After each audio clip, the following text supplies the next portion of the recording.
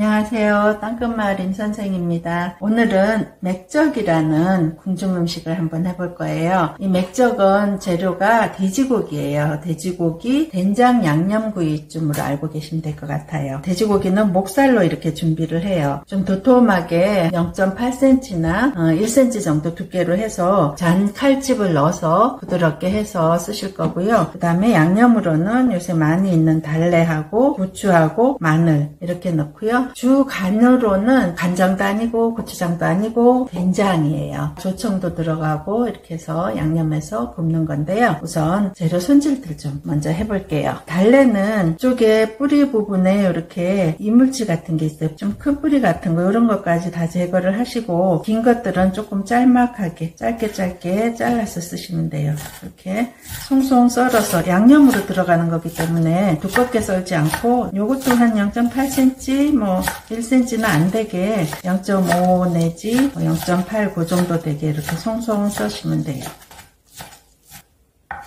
자, 이렇게 송송 썰어서 준비하시고요. 그 다음에 부추. 그 달래가 없는 계절에는 쪽파 같은 걸 쓰셔도 괜찮아요. 근데 달래가 향이 훨씬 더 좋아요. 그리고 이것도 같은 크기로.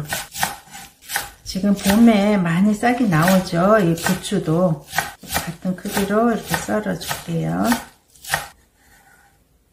그 다음에는요 마늘을 준비하는데 마늘은 좀 큼직큼직하게 할 거예요 그래서 이렇게 칼로 눌러 가지고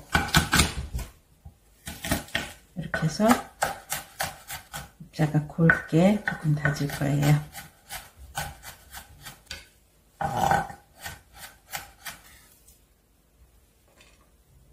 이렇게 해서 마늘까지 준비했고요. 그 다음에 고기를 손질하시는데 칼끝으로 이렇게 톡톡 두드려 주세요. 그리고 칼날이 있어도 괜찮아요. 워낙 도톰하기 때문에 이렇게 칼집을 좀 많이 내줘야지 좀 부드럽게 드실 수가 있어요. 이렇게 해주고 이렇게 칼끝으로 이렇게 심 있는 부분을 이렇게 봄 끊어줘요.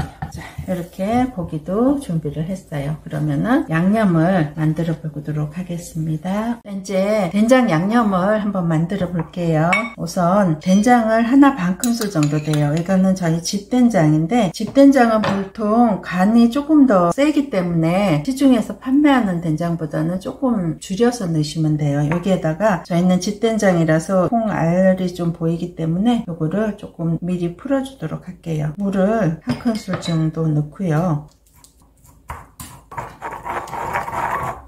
된장이 덩어리 없어지게 시판 된장들은 콩알이 안 보이기 때문에 여기까지 하실 필요는 없고요. 집단장으로 하실 경우에는 이렇게 조금 갈아주시는 게 양념이 겉돌지 않아서 좋을 거예요. 그래서 물이 된장 분량하고 같은 양으로 넣어서 아까 한 큰술 넣었으니 한 큰술 정도 더 넣었어요. 이렇게 해서 일단 풀은 다음에 나머지 양념을 넣도록 할게요. 그 다음에 된장 이렇게 해서 물하고 들어갔고요. 양조간장을 한 작은술 정도 넣어요.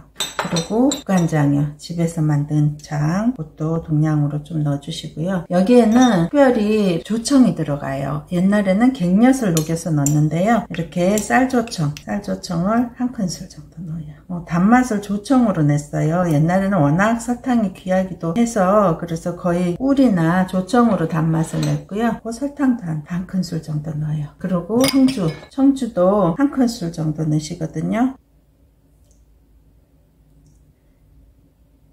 세 작은 술이 한 큰술이에요. 그 정도 넣으시고요. 그 다음에 여기다 들어갈 게 깨소금. 깨소금 깨 부셔놨어요. 그리고 어, 후추를 좀 넣고 그 다음에 잘 섞을게요. 그러면은 훌륭한 된장 양념이 됐어요. 이게 조금 어우러지게 한 15분이나 20분 정도 뒀다가 하시면 좋을 것 같아요. 그런 다음에 양념하기 직전에 여기에다가 이제 참기름을 마지막으로 한 큰술 정도 자, 이렇게 훌륭하게 양념이 다 됐어요. 요거를 이제 고기에다가 양념을 하시면 돼요. 자, 이제 된장 양념에 고기를 한번 재볼게요. 고기를 한 장씩 이렇게 조물조물 해서 놓고 이렇게 해서 일단 조금 주무른 다음에 고로 조금 배게 한 다음에 그 다음에 아까 송송 썰어 놓은 양념들 있죠 마늘하고 달래, 부추 이런 걸 넣어서 이제 같이 버무려 주시면 돼요 이렇게요, 이렇게. 어, 된장에 국물이 좀 자박자박한 양념장이었는데 이제 고기가 다 먹었어요. 이렇게 해서 한 30분 정도 재놨다가 구우시면 돼요. 급하면 한 20분 정도라도 반드시 조금 재놨다가 하셔야지 고기를 두껍게 준비를 해서 간이 배 시간을 좀 줘야 돼요. 이렇게 해서 다독다독 해서 이제 석쇠나 달군 팬에다가 구워보도록 할게요. 자, 팬이 조금 달궈졌어요. 너무 세지 않게 양념을 바른 거라서 처음부터 너무 센 불에 하면은 이제 타버려요. 그러니까 이렇게 움직여 가면서 그래야지 한 군데 가만 놔두면은 양념이 타버릴 수가 있으니까요. 불 조절을 물기가 좀 생긴다 싶으면은 불을 조금 더 세게 하시고요. 노릇노릇하게 구우시면 되는데 이게 좀 두껍기 때문에 앞뒤로 노릇해지고 난 다음에 불을 아주 약하게 해가지고 끈들이듯이 조금 안에까지 익을 수 있는 시간을 좀 줘야 돼요. 된장이나 고추장이나 간장이든지 양념이 달라진 거는 타기가 쉬우니까 잘 살펴봐가면서 하지 않게 불조절해서 구우시면 되겠어요. 그러면 불을 조금 낮췄어요.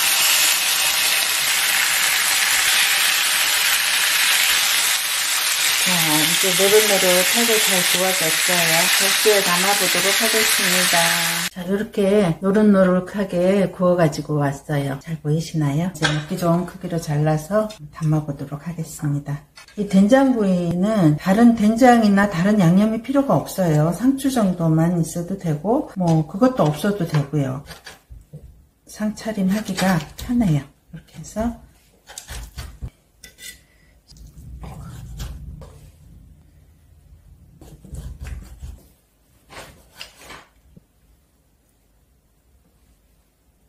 이렇게 해서 맥적 완성됐어요. 이거는 된장으로 양념을 했기 때문에 잡내도 없고요. 도톰하기 때문에 씹는 맛이 있어서 좋고 아무튼 맛있어요. 요거에다가 한국식 샐러드라 그럴까요? 약간 겉절이처럼 그냥 집에 있는 채소들에다가 뭐 간장, 매실청 그런 정도로 넣어가지고 깨소금하고 들기름 같은 요 네 가지 정도만 넣어서 집에 있는 채소도 이렇게 뜯어가지고 버물버물해서 같이 드시면은 훌륭하게 한 끼가 될 수 있을 것 같아요. 오늘은 맥작이었습니다. 돼지고기 된장 양념구이라고 할 수 있어요. 한번 다들 맛있게 만들어 보시기 바랍니다. 오늘은 여기까지입니다. 감사합니다.